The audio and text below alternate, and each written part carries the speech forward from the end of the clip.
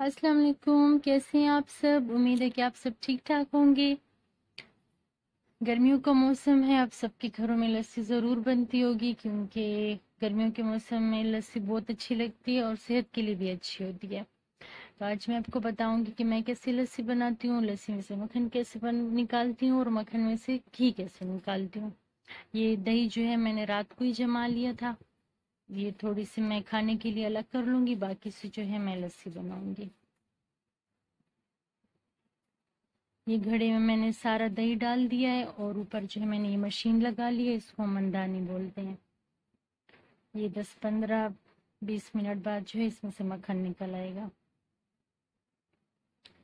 देगची में बहुत सारा बर्फ़ डालें, क्योंकि जब मक्खन हम निकालेंगे तो डायरेक्ट इसमें डालेंगे।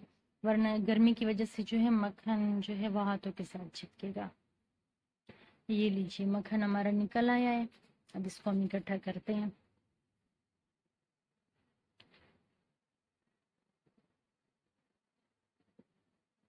ये लीजिए, मक्खन का पेड़ा हमारा रेडी हो गया है।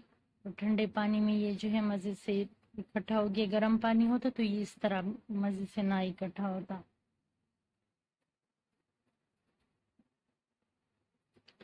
और लस्सी जो है ये हम नाश्ते के साथ भी पीते हैं, खाने के साथ भी खाते हैं, आप लोग भी बनाएँ। और मेरे चैनल को सब्सक्राइब करें ज़रूर, मेरी वीडियोस को लाइक करें और प्लीज़ शेयर करें। मुझे दुआ में ज़रूर याद रखिएगा। ओके, चलती हूँ। अल्लाह हाफिज़।